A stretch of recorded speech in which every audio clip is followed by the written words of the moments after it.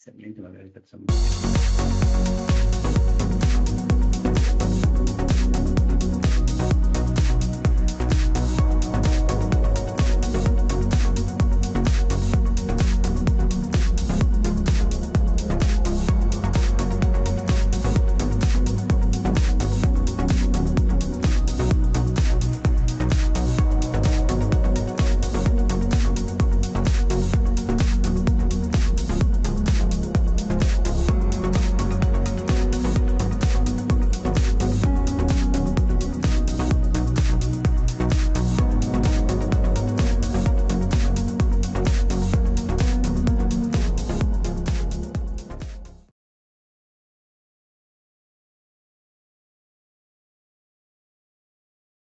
Buongiorno a tutte e a tutti e ben ritrovati a quanti già ci hanno seguito ieri. Io sono Daniela e a nome di tutto lo staff di Edilizia Namirial vi do il benvenuto a questa seconda giornata della nostra Construction Academy. Eh, sono tre giorni, eh, uno è già andato, questo è il secondo, sono tre giorni di ehm, eventi di formazione completamente gratuiti per la vostra formaz eh, formazione professionale. Abbiamo, abbiamo già eh, mandato in diretta due corsi per l'attribuzione eh, di crediti formativi professionali, mentre eh, in questa tarda mattinata eh, faremo un intervento un po' più tecnico eh, nell'ambito del calcolo e dell'analisi strutturale. Saranno infatti in nostra compagnia Carlo Rossi e Annalisa Camorani che ci presenteranno appunto degli esempi eh, pratici ehm, realizzati con il nostro software, naturalmente CMP di calcolo strutturale. Prima di eh, lasciare a loro la parola vi ricordo due semplicissimi, semplicissimi. La prima è che c'è una chat a vostra disposizione che potete utilizzare per porre delle domande ai nostri relatori che faranno il possibile per rispondere alla fine dell'intervento. Eh, la seconda cosa è che vorrei ricordarvi che eh, il nostro software CMP, eh, così come in realtà eh, tutti i nostri software per l'edilizia, sono mh, diciamo c'è una promozione eh, che abbiamo riservato solo a voi che state seguendo il nostro intervento, pertanto se poi vi dovesse interessare ci potete contattare, potete eh, contattare il nostro reparto commerciale scrivendo a commerciale chiocciola edilizianamirial.it oppure telefonicamente allo 071 20 53 80. Io vi ringrazio intanto per l'attenzione e lascio la parola naturalmente ai relatori. Grazie.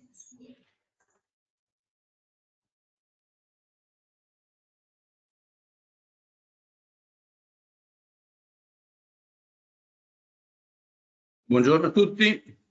Buongiorno, buongiorno. Io sono l'ingegner Carlo Rossi. Io sono Anaisa Camorani. Ci alterneremo diciamo, nella, nello sviluppo di questa breve presentazione e cercheremo ovviamente di focalizzarci su poche cose perché un'ora è decisamente un tempo abbastanza limitato per cui non pensiate che il, la presentazione sia esaustiva di quelle che sono le caratteristiche del software ma comunque cercheremo di puntualizzare rispetto al tema, che è un tema molto specifico, eh, le cose che riteniamo essere caratterizzanti del programma. Quindi possiamo cominciare e ecco, premetto che dal punto di vista operativo le risposte ad eventuali domande saranno comunque concentrate alla fine.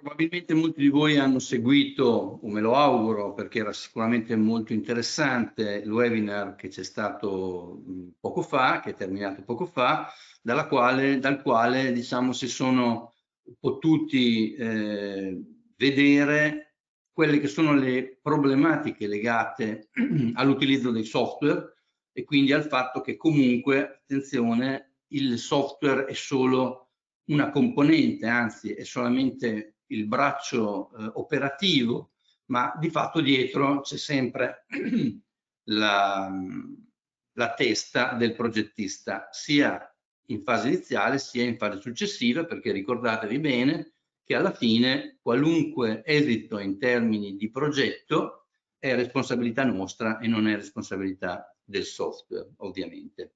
Quindi ripeto, l'intervento sarà non esaustivo delle caratteristiche di CMP, vedremo solo alcuni aspetti in riferimento al tema che è progettare con il controllo delle scelte e dei risultati, quindi focalizzato su questa problematica che comunque è la problematica secondo me fondamentale del, dell'utilizzo dei software.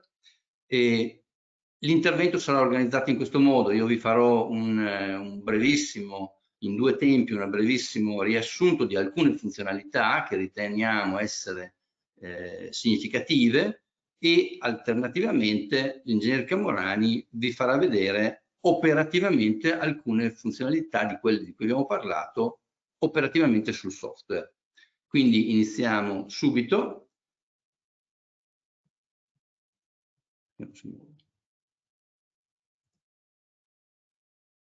Scusate un secondo.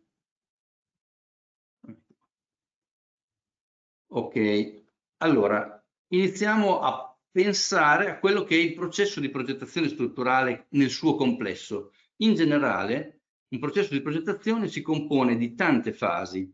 Di queste fasi ce ne sono diverse, anche molto lunghe, che riguardano attività di tipo meccanico, quindi che possono essere eseguite in grande quantità ma anche molto velocemente, e attività che presuppongono invece scelte, giudizi e decisioni.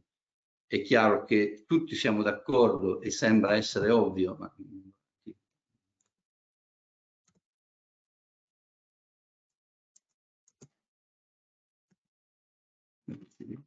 Scusate. Lascialo così, lascialo così, lo stesso.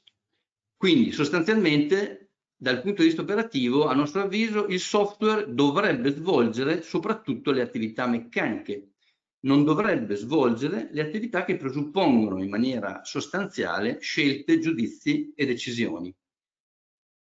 Un'altra problematica che sicuramente nell'utilizzo dei software spesso si richiede è quello dell'automazione, ma l'automazione va vista in contrasto con la imposizione il software è giusto ed è positivo che proponga delle soluzioni, che quindi ci metta nelle condizioni di sveltire il nostro lavoro e ci dia soluzioni spesso compatibili, ad esempio con le norme.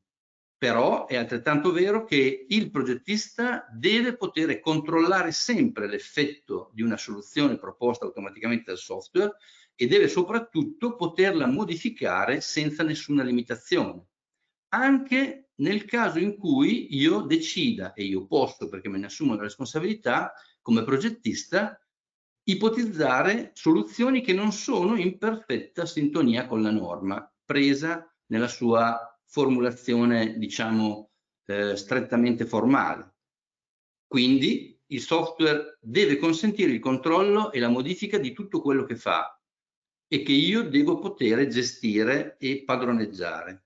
Chiaro che qui entrano in gioco problematiche legate alla conoscenza del software e quindi alla possibilità del progettista di dominare lo strumento che utilizza. Altra problematica è il rapporto tra velocità e flessibilità. È chiaro che fare presto, fare veloce è positivo. Sappiamo tutti che dovevamo, dobbiamo sempre consegnare ieri e quindi è chiaro che anche se il software riesce a consentirci di, di lavorare velocemente, questo è un fatto positivo, ma attenzione che al di là della velocità è sicuramente molto più importante la consapevolezza di ciò che stiamo facendo, perché, ripeto quello che ho detto poco fa, quando arriviamo in fondo la responsabilità del progetto è nostra e nel webinar precedente chi lo ha seguito ha potuto diciamo eh, rilevare come sono stati presentati casi di progetti fatti bene teoricamente bene, nel senso che sono stati collaudati e validati e che poi si sono ritrovati in tribunale. Il software quindi deve consentirci di capire quello che stiamo facendo. Il modello strutturale non è necessariamente detto che debba essere vicino a quello che è la realtà. Non è condizione sufficiente il fatto che assomigli alla realtà perché sia strutturalmente corretto. Se questo è vero in un modello architettonico dove più quello che vedo è ciò che voglio, questo non è vero in un modello strutturale dove il funzionamento strutturale dipende da tanti altri parametri e quindi in questo caso il software mi deve consentire di modellare liberamente, non devo avere vincoli connessi semplicemente alla associazione di pezzi che assomigliano alla realtà.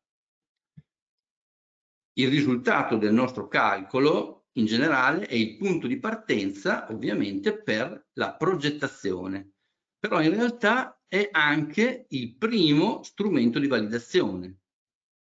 Quando io ho finito il calcolo, la prima cosa che devo fare non è passare alla ricerca delle combinazioni e poi al progetto, ma è validare quello che ho fatto cercando di capire se quanto è stato fatto corrisponde a quello che io penso di avere fatto, perché purtroppo in termini operativi la possibilità di commettere errori è dietro l'angolo. Quindi il software deve consentire una lettura critica dei risultati. Come questa lettura critica? Qui faccio un'osservazione la capacità di confrontare un risultato atteso con un risultato ottenuto, quindi la capacità di confrontare il risultato che esce dal software con quello che io mi aspetto, è l'unico modo, è il principale modo per individuare eventuali errori. Attenzione però che mentre il risultato ottenuto esce dal software, se ho fatto un modello che non ha l'abilità o non ha cose particolari, il risultato esce, il risultato atteso invece dipende solo da me, ma per attendersi un risultato occorre che io abbia esperienza, quindi io possa riuscire ad aspettarmi qualcosa prima di fare dei calcoli. Me li aspetto semplicemente da una impostazione strutturale generale che ho fatto preliminarmente alla modellazione. Ma per acquisire esperienza, come in tutte le cose, io devo fare, non far fare. E questo è il grosso problema, secondo me, che esiste nell'utilizzo di software. I software spesso, proprio per ottenere velocità e automazione, tendono a fare loro. Purtroppo se fanno loro, io non acquisisco esperienza, non cresco e non acquisisco quella capacità di aspettarmi qualcosa. Il software quindi secondo noi deve consentire di fare le cose, può aiutarci, ma le dobbiamo poter fare noi. Bene, quindi globalmente se riepiloghiamo dovremmo svolgere prevalentemente le attività meccaniche, il software deve consentire il controllo e la modifica degli automatismi, deve consentire di capire ciò che stiamo facendo, deve consentire la più ampia libertà di modellazione, deve consentire una lettura critica dei risultati e deve consentire di fare le cose. Bene, questo è quello che ha sempre guidato, questi concetti sono quelli che hanno sempre guidato lo sviluppo di CMP. CMP è nato 40 anni fa fisicamente, eh, io sono stato quello che gli ha dato diciamo, i natali, eh, 30 anni fa è nato dal punto di vista commerciale all'interno di una struttura di progettazione, poi è stato preso in carico da Namirial che lo sta portando avanti, ma la logica che ha portato a decidere di svilupparlo è proprio stato il rispetto di questi concetti che come studio di progettazione non trovavamo nei software esistenti allora. Quindi da questo punto di vista cominciamo a guardare qualche operatività che caratterizza da questo punto di vista il programma CMP. Naturalmente facciamo alcune piccole ehm, puntualizzazioni su quella che è la prima fase, che è quella di modellazione, poi parleremo di quello che è il controllo e poi dopo la fase di progetto verifica in modo molto molto veloce. In fase di modellazione, alcune cose importanti, noi costruiamo un modello e non la realtà del cantiere. Perché? Perché occorre sempre tenere presente, come abbiamo visto nel webinar precedente, che l'ambito e i limiti dello strumento matematico determinano come funziona il nostro modello. Quindi dobbiamo sempre considerare che non è la realtà quella che stiamo analizzando, ma è una sua schematizzazione. Per questo motivo, anche se è una cosa formale, noi non costruiamo un modello parlando di pilastri, travi o eh, plattee, muri o quant'altro, ma parliamo di beam, truss, shell, brick, cioè elementi finiti. Questo non perché ci interessi o vogliamo fare i fini, semplicemente perché ci ricorda questo fatto che al di sotto di questi oggetti ci sono delle approssimazioni, approssimazioni che intervengono su quello che è il risultato e che quindi noi dobbiamo conoscere. Non abbiamo ovviamente tempo di approfondire specificatamente, ma eh, si potrebbero vedere tante cose molto interessanti.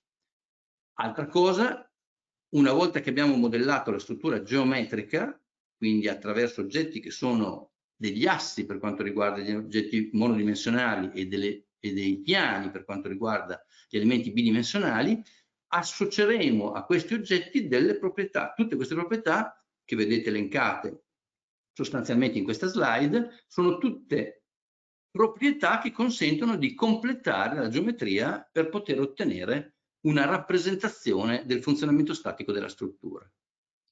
Qualunque proprietà che viene inserita, anche se è assegnata automaticamente da CMP, e CMP ha molte opzioni di generazione automatica per facilitare in condizioni standard la modellazione, è comunque visualizzabile graficamente, quindi io ne posso avere completa, completo controllo, e modificabile singolarmente, quindi io posso intervenire a modificare qualunque cosa che è stata definita in maniera automatica.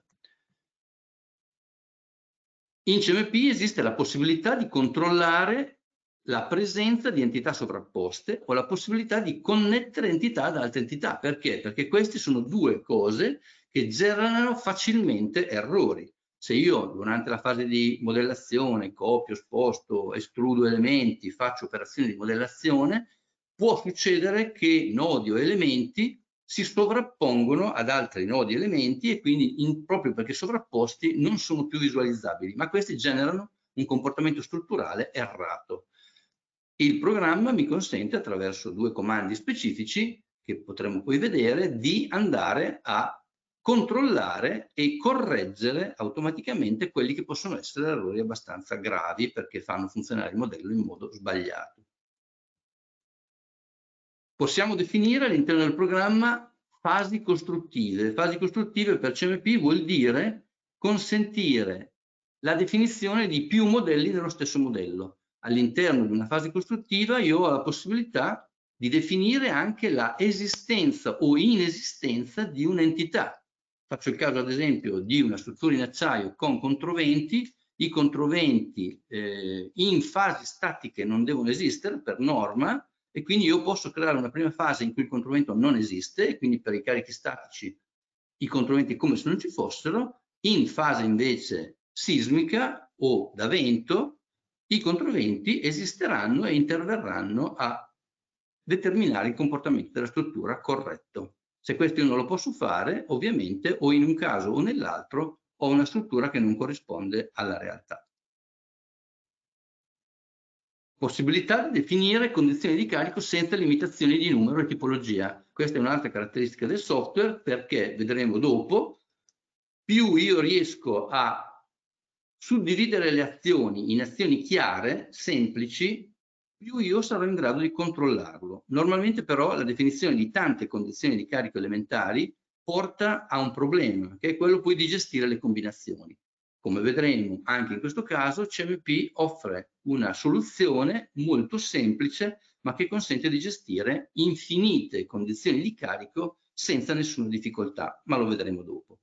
A questo punto diciamo che le cose che caratterizzano specificatamente sull'oggetto del nostro intervento di oggi il CMP è, sono quelle che abbiamo visto e Annalisa vi farà vedere operativamente qualche cosa.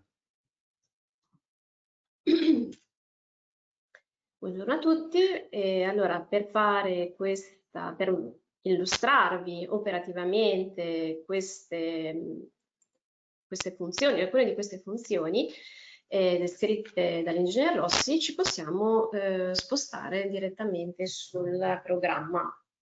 Ecco, quella che voi vedete in questo momento, per chi di voi non conosce il software, è la schermata principale, ovvero la finestra del modello, ed è quella che si apre quando voi avviate CMP.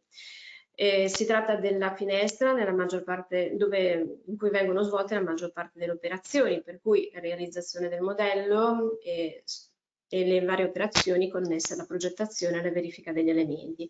Non si tratta in realtà dell'unica finestra eh, presente, e ce ne sono altre che comunque avremo modo di vedere in seguito. CMP dispone di numerosi eh, comandi eh, che consentono di eh, svolgere in maniera automatica alcune operazioni.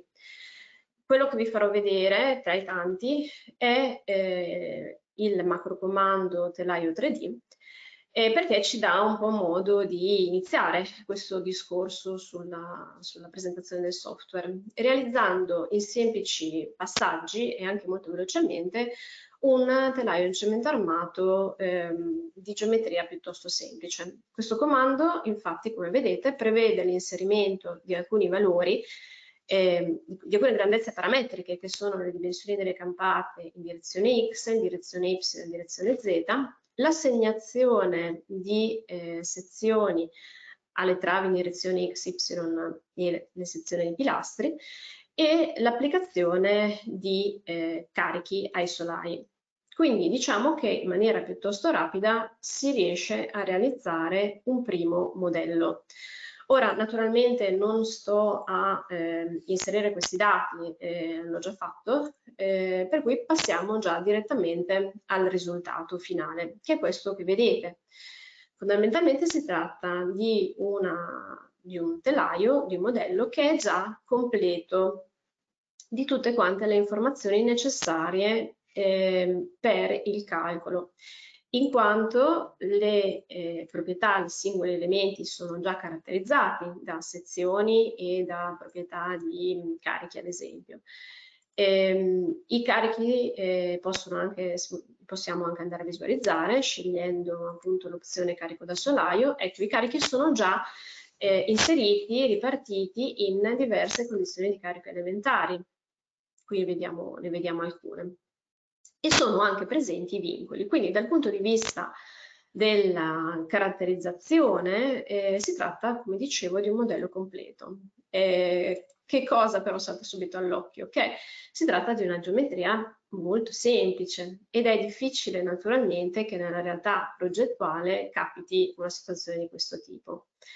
Ecco perché eh, in CMP, una volta ehm, ottenuto un qualsiasi eh, prodotto da un processo automatico è poi sempre possibile intervenire andandolo a modificare.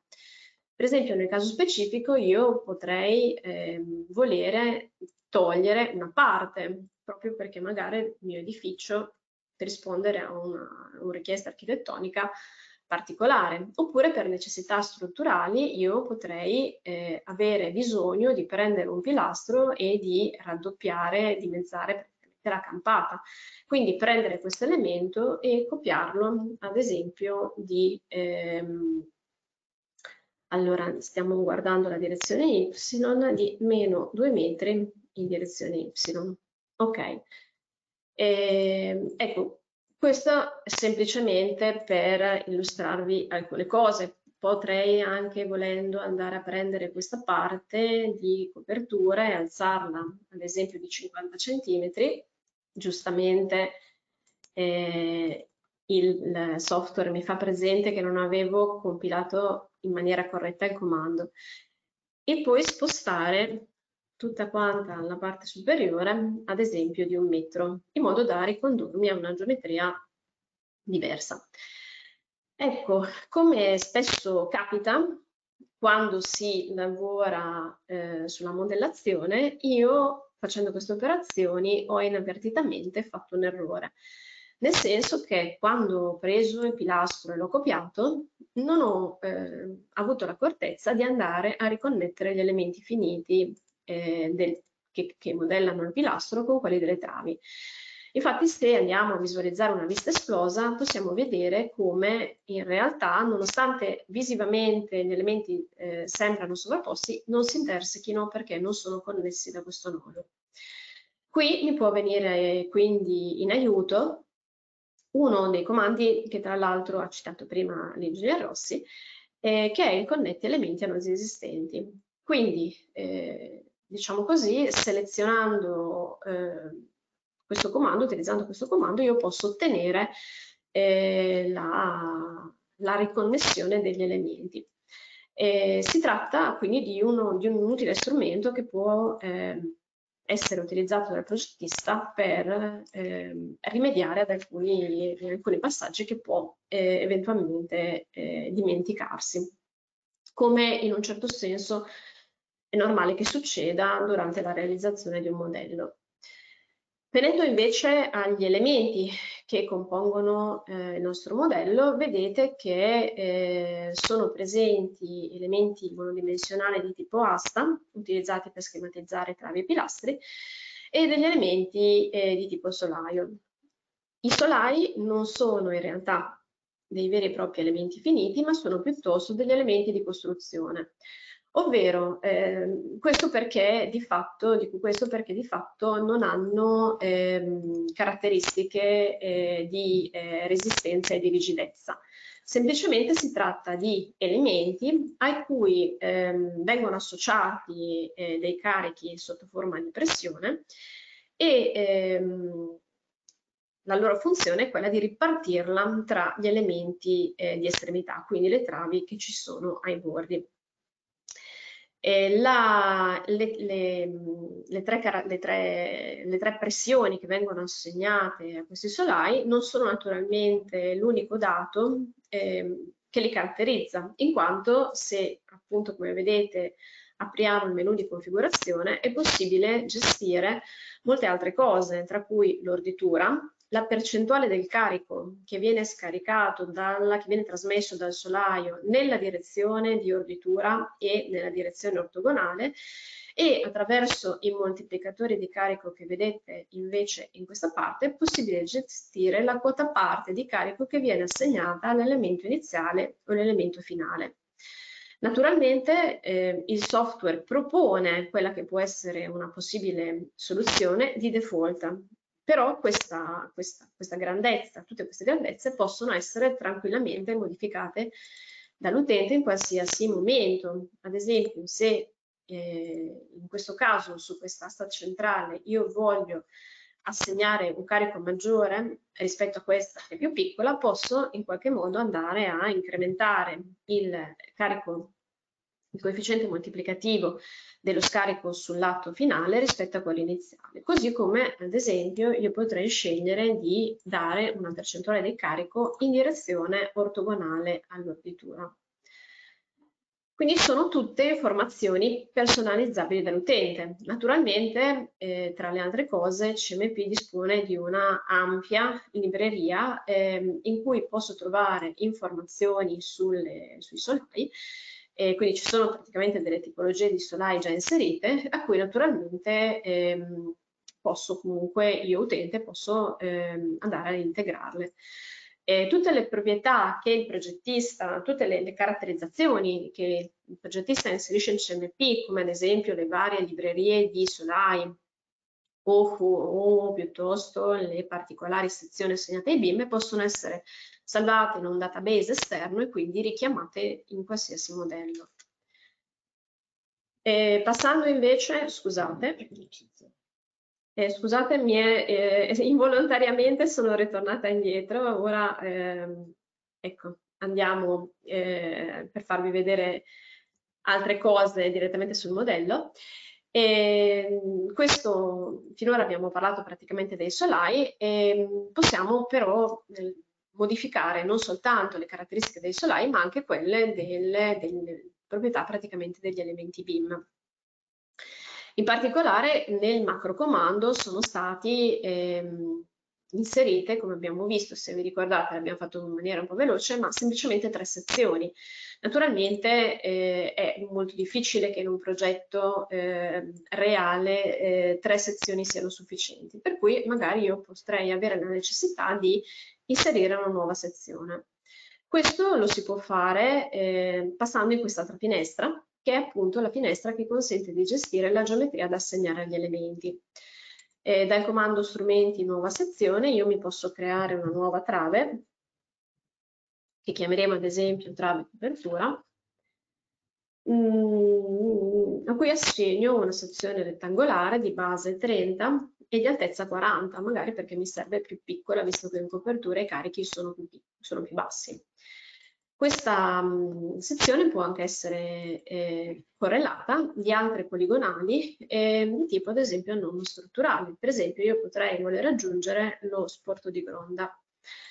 L'opzione non strutturale mi consente di eh, dire che questa sezione è di fatto presente nel modello a livello di carico e me la troverò naturalmente anche in fase di disegno, ma non partecipa eh, come realisticamente poi è davvero, alla resistenza e alla rigidezza della sezione. Una volta definita questa nuova sezione io posso poi andare ad ehm, applicarla ad esempio alle mie travi in copertura. Quindi seleziono le travi, seleziono configurazione e vado ad assegnare a questi elementi la sezione che ho appena creato. E questo vi mostra una delle proprietà che io ho potuto cambiare, però tenete presente che tutte quante le caratterizzazioni, compreso anche la tipologia di materiale, ehm, o il grado di vincolo possono essere gestite eh, tranquillamente dall'utente in qualsiasi momento della, della modellazione. Per quanto riguarda, diciamo così, la gestione di quelle che sono tutte le ipotesi eh, del, nostro, del nostro calcolo, ehm, le possiamo trovare, sono state raggruppate in un unico comando che è appunto opzione di progetto. E qui, a parte la caratterizzazione eventuale della zona sismica, troviamo anche il comando che abbiamo visto prima nelle slide sulla gestione delle condizioni di carico elementari e delle fasi.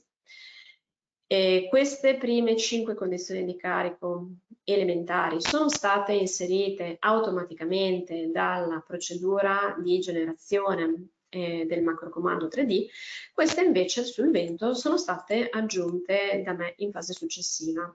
Eh, le condizioni di carico che si possono inserire sono illimitate, quindi anche una volta che eh, c'è già uno schema, una tabella di questo tipo, è possibile sempre intervenire ad esempio, nel caso in cui uno dei solai sia adibito al magazzino, io posso inserire una nuova condizione di carico eh, relativa appunto a questa tipologia di carichi di esercizio che sarà caratterizzata dall'avere dei coefficienti di inviluppo a stato limite ultimo, stato limite di esercizio diverso dalle altre.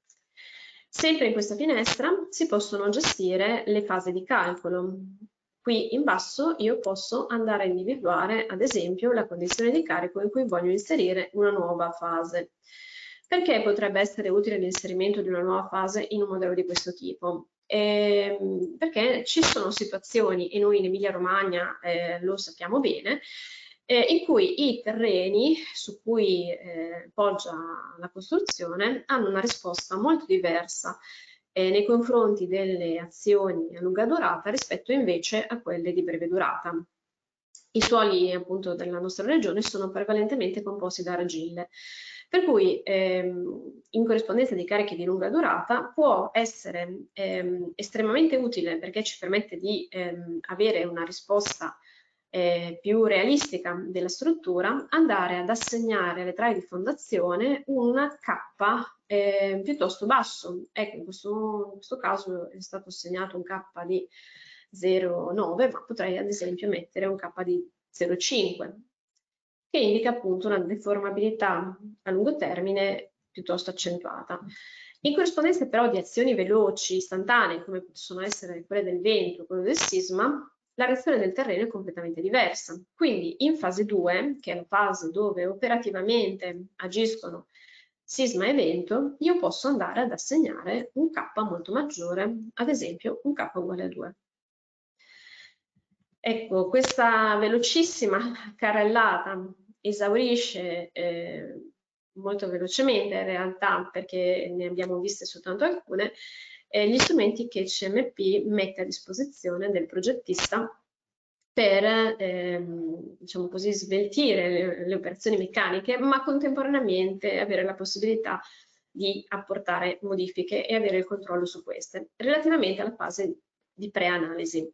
Prima di passare eh, a lavorare sul modello per illustrarvi le fasi di post-analisi, ripasso la parola al collega eh, per una breve, una breve introduzione. Con riferimento al tema del, dell'incontro abbiamo visto quali sono le caratteristiche in termini di modellazione, vediamo adesso cosa succede in fase di controllo dei risultati. Come ho detto la fase di controllo dei risultati è una fase che forse non ci paga nessuno ma che è importantissima, è la fase fondamentale perché è sulla base di questo controllo che noi raggiungiamo la ragionevole convinzione di aver fatto un modello corretto e quindi raggiungiamo la ragionevole convinzione di firmare ciò che uscirà da questo progetto. Quindi è estremamente importante. La fase di controllo dei risultati, come abbiamo visto nelle prime slide, eh, è fondamentalmente connessa alla capacità di confrontare ciò che noi ci aspettiamo rispetto a ciò che esce dal software. La prima cosa fondamentale, quindi, in questo senso, che apparentemente può sembrare una banalità, ma banalità non è, è il fatto che sebbene noi opereremo in termini di progetto, quindi per tutta la fase successiva del nostro lavoro su delle combinazioni, le combinazioni sono assolutamente inadeguate a consentire il controllo. Il controllo va fatto sulle condizioni elementari, perché se siamo stati bravi e abbiamo suddiviso le condizioni elementari su carichi che siano conformi e congruenti con se stessi, quindi non mischiando azioni verticali con azioni orizzontali e suddividendo in, in questo ambito i carichi in gruppi che sappiamo devono dare un certo tipo di risultato, abbiamo la possibilità di scorrere velocemente sul software i risultati in termini di reazioni vincolari, di sollecitazioni, di spostamenti per condizioni di carico elementari e quindi è facilmente comprensibile e controllabile il fatto che il nostro modello risponde in modo adeguato a ciò che noi abbiamo pensato. Quindi sostanzialmente noi dobbiamo raggiungere la convinzione che quello che è nella nostra testa sia effettivamente stato analizzato dal software, quindi che non ci siano cose diverse. E quindi l'analisi per condizioni di carico elementari, anche se può sembrare una banalità, è una cosa essenziale. Ovviamente una volta che abbiamo raggiunto la convinzione che tutti gli oggetti funzionano dal punto di vista qualitativo, quindi che le cose funzionano come, come, noi, ci siamo, come noi ci aspettiamo che debba essere, beh, possiamo anche passare a dei controlli di tipo numerico. Questo può essere fatto attraverso due comandi fondamentali in CMP che sono la possibilità di ottenere una qualunque risultante di carichi applicati su una qualunque porzione del modello e quindi diciamo facendo dei controlli macroscopici, area, superficie di un piano per i metri quadrati, per eh, scusate, i valori di carico a metro quadrato, possiamo andare ad avere un immediato e semplice riscontro del fatto che tutti i carichi che dovevano esserci siano stati effettivamente messi. E quindi da questo tabulato che vedete sulla parte sinistra del monitor c'è semplicemente un riscontro di ogni condizione di carico con ogni componente di azioni trasmessa dai vari tipi di carico che noi possiamo andare globalmente a confrontare con quello che è il valore atteso. Altro comando abbastanza importante è invece quello di poter ottenere una risultante delle sollecitazioni su una qualunque sezione del modello, quindi non parliamo più di carichi applicati, parliamo di risultato, di sollecitazioni. Una banalità, ma tanto per dire, questi quattro, questo dialogo che vedete sulla sinistra rappresenta la risultante delle azioni che agiscono alla base di questi quattro pilastri evidenziati nel, nella schermata del programma. Bene, è evidente che sappiamo tutti, ma anche se è una banalità è proprio quello che dobbiamo controllare, che in fase sismica relativamente alle azioni che vengono trasmesse da questa pensilina alla base, la risultante del carico verticale, che pure c'è, perché ognuno di questi pilastri è o compresso o teso, però la risultante deve essere nulla. E in effetti vedete che per qualunque condizione statica, riportata sul, eh, sul, sull'immagine di sinistra, sostanzialmente, a meno di sporchi numerici, la risultante del carico verticale, F1, è nulla. E questo è corrispondente a una corretta applicazione di quello che abbiamo, eh, di quello che ci aspettiamo. Stessa cosa vale per le altre grandezze. Quindi queste due tipologie di comandi, uniti alla possibilità di visualizzare tutte le componenti di sollecitazione, spostamento e azioni vincolari per le singole condizioni di carico elementare ci consentono di attivare tutti i processi di controllo che sono assolutamente necessari prima di passare alla fase di combinazione e, e verifica. Passiamo poi all'ultima fase che è quella del progetto. In fase di progetto verifica quali sono le cose che ci consentono e che ci aiutano a controllare le scelte e a controllare i risultati? Beh, la prima cosa è la possibilità di generare inviluppi delle grandezze in gioco per infinite possibili combinazioni di carico. Abbiamo visto prima che non abbiamo limitazioni al numero di condizioni di carico elementari che possiamo generare. Quindi, ad esempio, possiamo avere tutte le condizioni di carico di vento possibili immaginabili, di sisma possibili immaginabili, di carichi accidentali possibili immaginabili.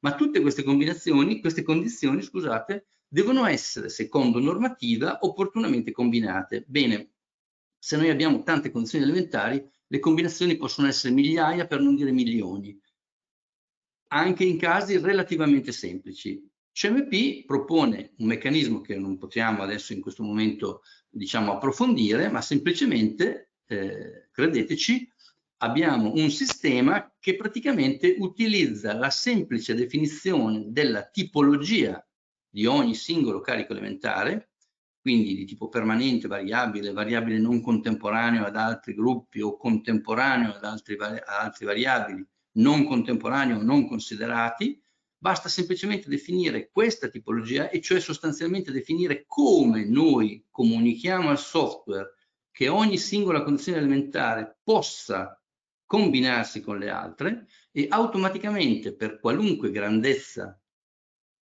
ci interessa, il programma sviluppa le combinazioni e ci consente di ottenere in ogni punto l'inviluppo delle peggiori condizioni possibili, indipendentemente dal fatto che le combinazioni possibili siano migliaia o milioni.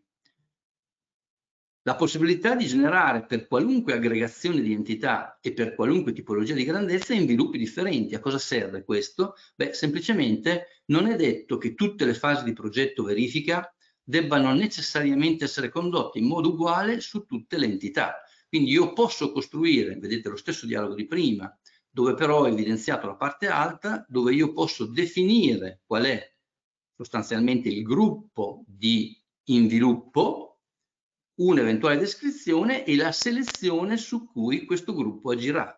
Quindi io posso benissimo generare 2, 3, 4, 10, 20, quelle che mi pare, gruppi di diverse modalità di combinazione e su ognuno di questi gruppi operante su un diverso gruppo di selezione automaticamente il programma poi andrà a eseguire le verifiche. Quindi quando io dirò di eseguire le verifiche su tutto il modello beh, lui sa che ogni singolo oggetto è parte di un gruppo di selezione che appartiene a uno un altro gruppo di inviluppi ed eseguirà le verifiche con quelle caratteristiche di sollecitazione, quindi in modo molto molto semplice ma molto molto flessibile.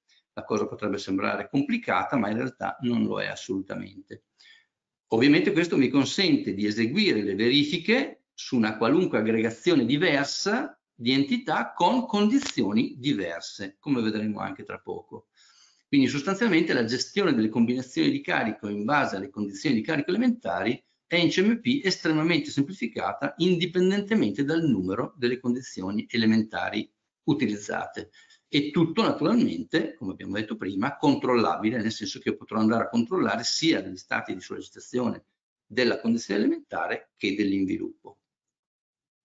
Altra cosa importante è la possibilità di generare automaticamente quando andiamo in fase di verifica, selezioni memorizzabili di tutti soli gli elementi non verificati.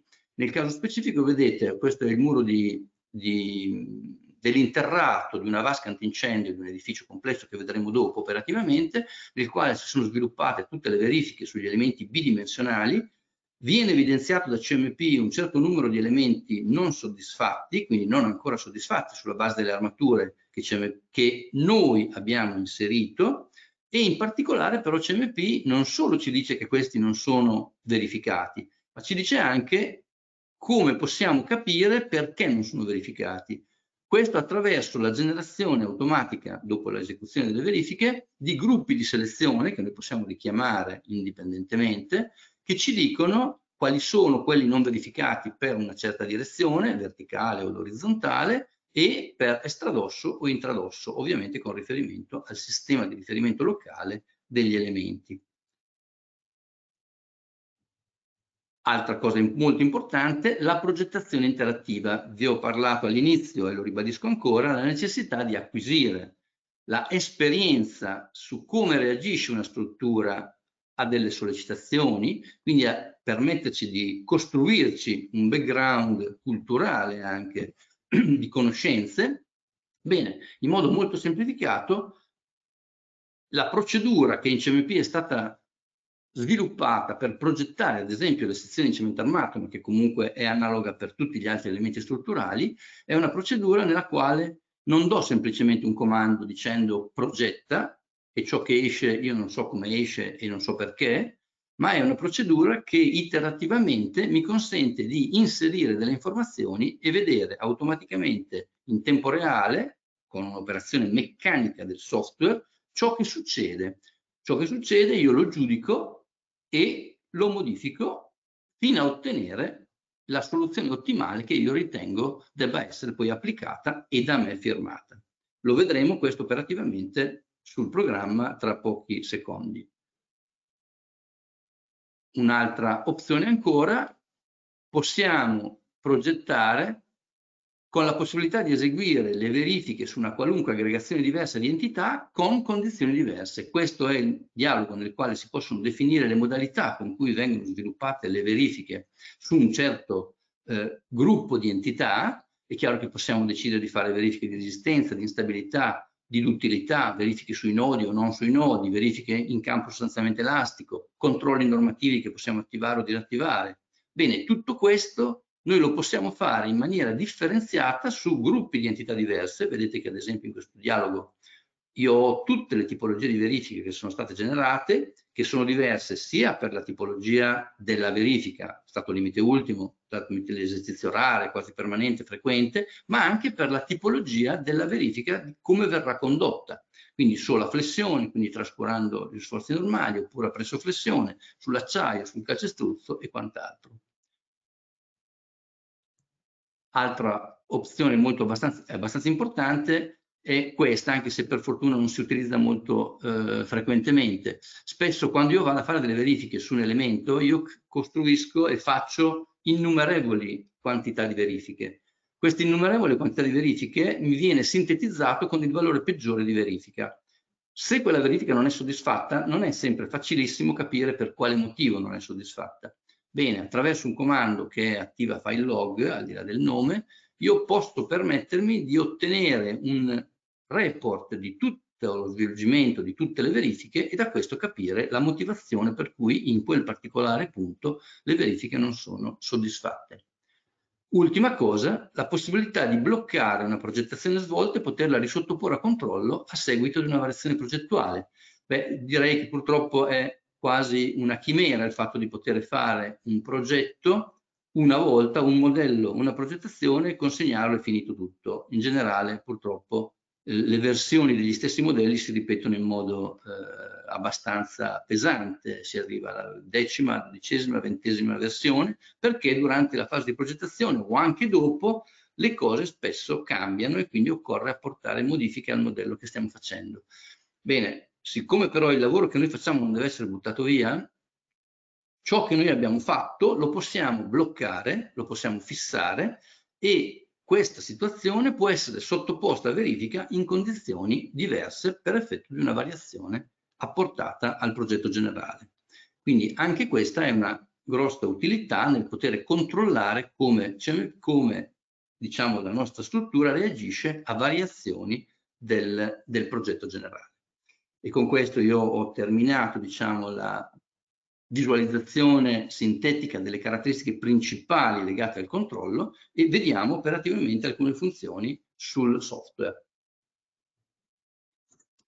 Sì, ecco, naturalmente ehm, sempre legato a un motivo il tempo non è possibile sviluppare nel dettaglio tutti i passaggi ehm, che l'ingegner Rossi ha, ha illustrato. Per cui abbiamo scelto di farvi vedere operativamente almeno due, due percorsi progettuali che sono quello eh, relativo alla progettazione delle travi e alla progettazione della platea.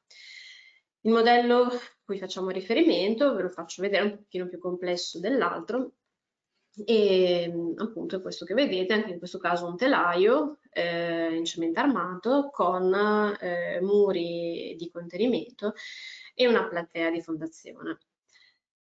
Per illustrare la progettazione prendiamo ad esempio eh, la trave di bordo.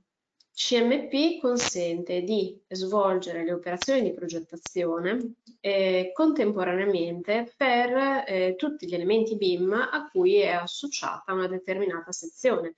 Quindi in questo caso ehm, saranno progettate queste, queste, queste tre travate saranno progettate tutte contemporaneamente. Naturalmente non è un obbligo. Se io voglio adottare due progettazioni diverse per elementi che hanno la stessa sezione, posso tranquillamente generare una sezione diversa e quindi differenziare le progettazioni. Ci siamo spostati sulla finestra delle sezioni e, e quella che vedete è una sezione solo calcestruzzo senza barre.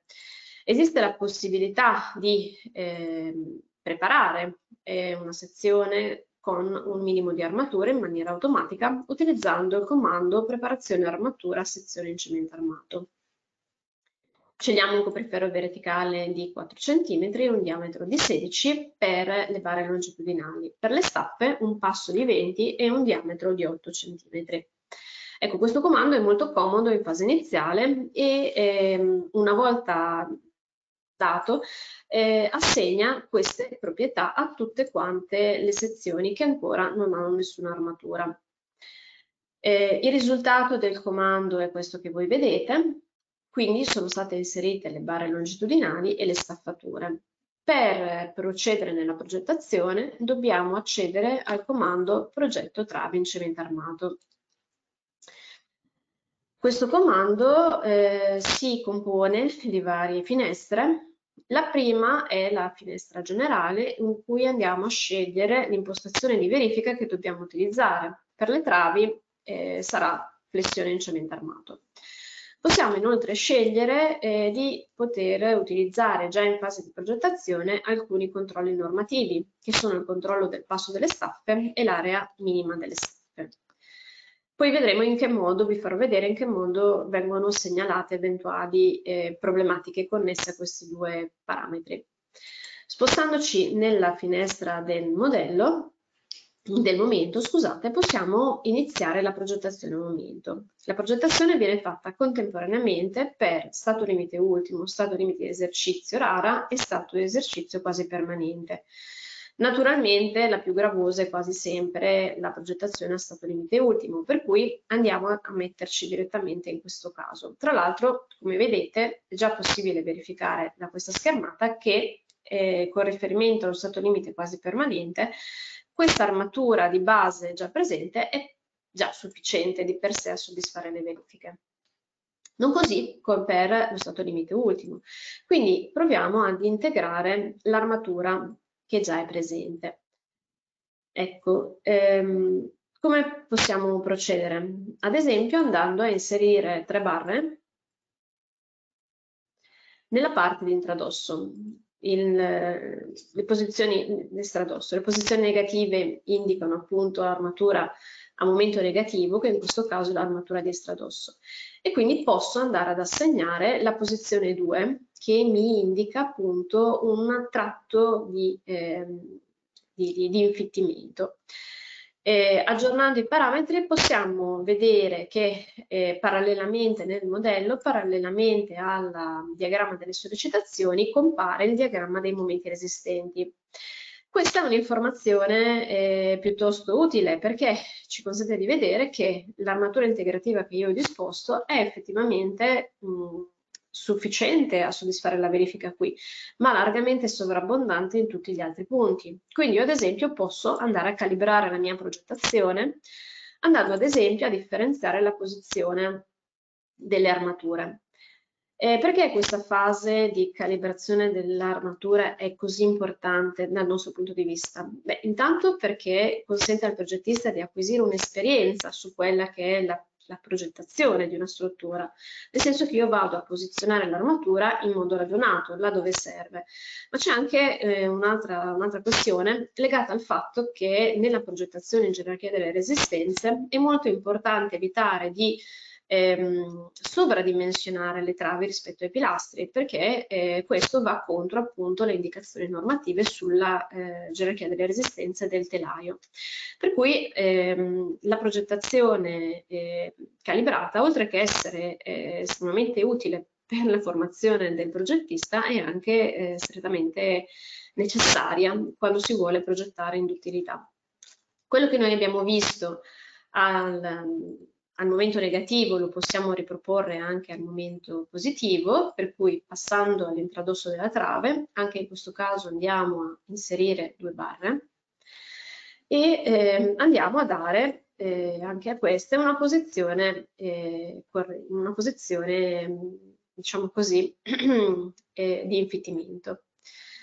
possiamo aggiornare la vista e andare a vedere, ecco in questo caso forse possiamo andare ancora ad ottimizzare, per esempio stavolta non riducendo eh, i diametri, ma eh, non, non, riducendo il numero di, di, barre, ma andando a ridurre i diametri, quindi mettendo ad esempio delle, di, delle barre P12.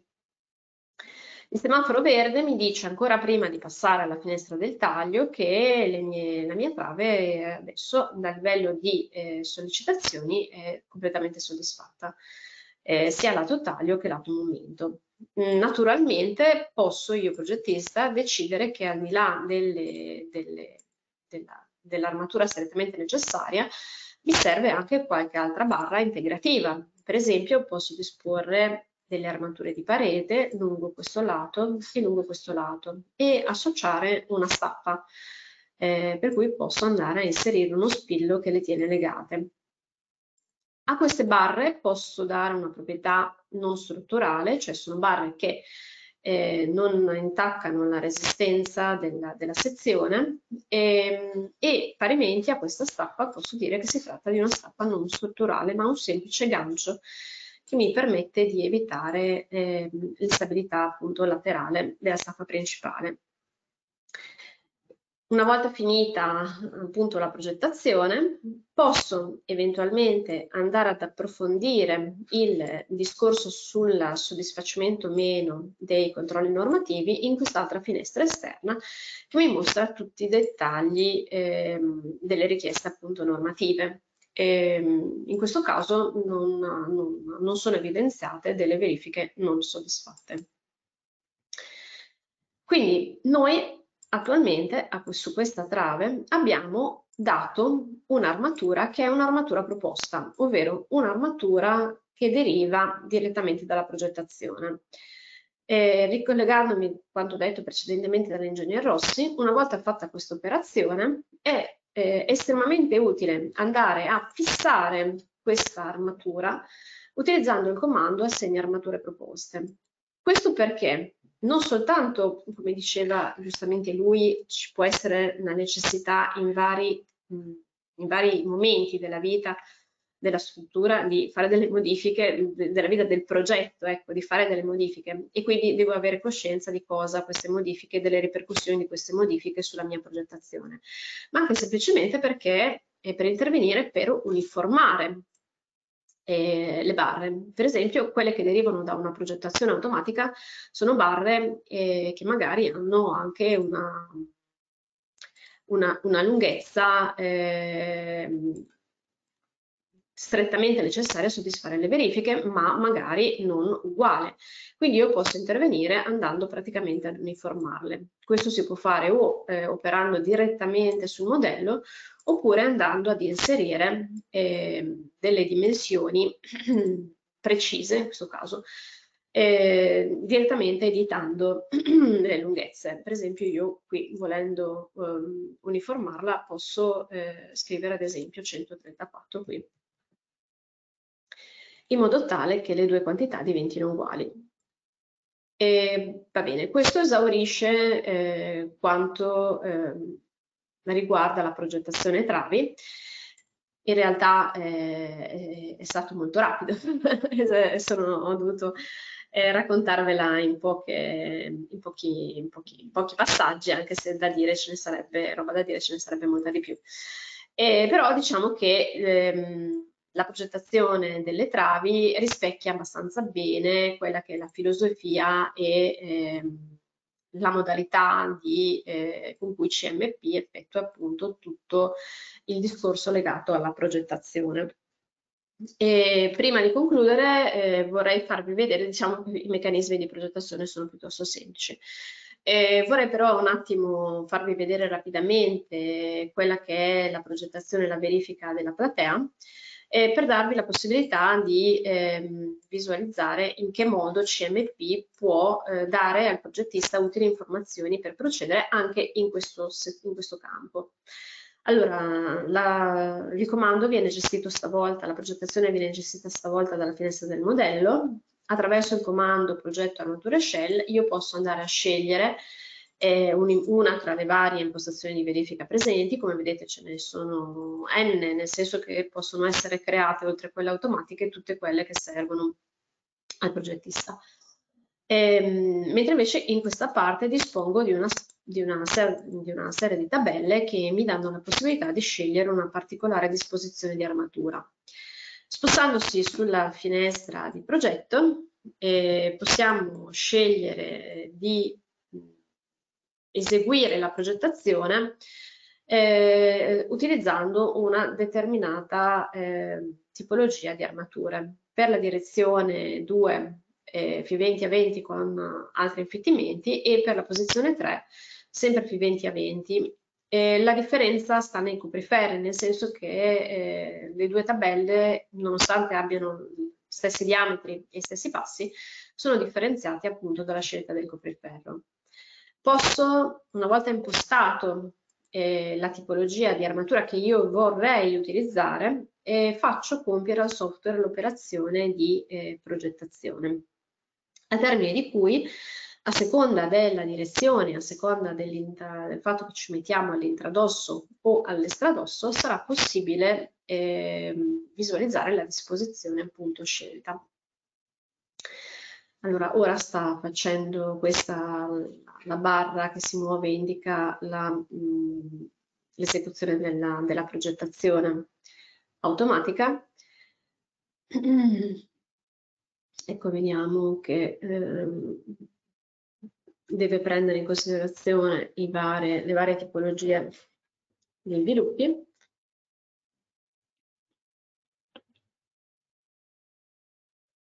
Ecco qua, ehm, vediamo, ok, ecco al termine il risultato sarà eh, un'armatura proposta, quindi voi potete vedere attraverso questa mappa di colori l'armatura che eh, esce eh, da, questa, da, questa, progettazione. Qui stiamo visualizzando la direzione 2 estradosso, possiamo vedere l'intradosso, direzione 3, intradosso ed estradosso. Assegniamo quindi le armature proposte, ci spostiamo sulla eh, finestra delle verifiche e di qui possiamo dare eh, appunto l'esecuzione delle verifiche. La modalità di esecuzione delle verifiche è diversa rispetto alla progettazione perché prevede un modello di verifica più sofisticato che è appunto il metodo sandwich, per cui può succedere che alcuni shell mh, che risultano verificati a livello di progettazione non lo siano a livello di verifica, cosa che eh, può, appunto, può appunto succedere. Ecco, in questo caso vediamo che eh, i punti esclamativi indicano le verifiche non soddisfatte. Le possiamo vedere per la direzione 2 e per eh, la direzione 3. Ora, noi non abbiamo però da questo, da, questa, da questo, dialogo alcuna informazione su quale sia la carenza. Ci viene in aiuto ehm, questa, questa questa funzione che è appunto la creazione in maniera automatica di eh, gruppi di elementi, eh, gruppi di elementi in cui eh, caratterizzati dalla eh, non verifica all'intradosso, all'estradosso, direzione 2, direzione 3.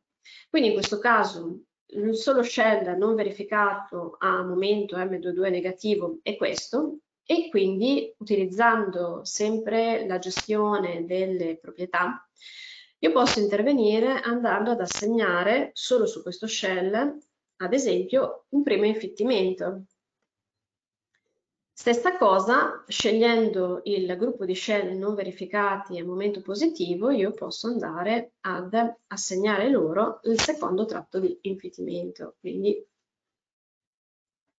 ecco, questo mi serve per calibrare la progettazione e andare ad inserire armatura non eh, genericamente, ma strettamente nei punti in cui serve. Rieseguendo le verifiche, possiamo vedere che possiamo andare a verificare se questa cosa, questa operazione che noi abbiamo fatto è esaustiva oppure no ed eventualmente ripeterla aggiungendo un ulteriore infittimento laddove non fosse sufficiente. Ecco, terminata questa, questa, questa rapida carrellata sulla, sulle modalità con cui eh, CMP esegue le varie fasi di progettazione, ehm, riterrei concluso il nostro intervento. E vi mm, ringrazio eh, per, per l'attenzione e vediamo se ci sono delle domande. Allora, allarghiamo un attimo, scusate.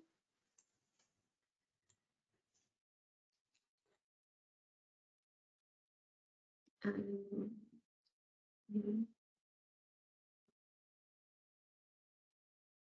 Ok, non ci non sono ci, domande. Non ci sono domande, per cui io vi ringrazio della vostra attenzione e um, arrivederci alla prossima webinar. Arrivederci. Grazie, io ringrazio personalmente i nostri due relatori, Ingegner Cammorani e Ingegner Rossi, per la spiegazione come sempre molto esaustiva. Eh, ringrazio voi per eh, averci seguito, eh, vi ricordo che eh, se volete appunto approfittare diciamo di questo sconto che vi abbiamo riservato sul software CMP ci potete contattare il nostro servizio eh, commerciale. Infine, prima di salutarvi vi ricordo che eh, sul nostro sito Edilizia Namirial potete trovare ehm, il programma completo del pomeriggio e eh, di domani che sarà appunto la giornata conclusiva eh, della nostra Academy. Eh, a questo punto vi ringrazio ancora per l'attenzione e un saluto.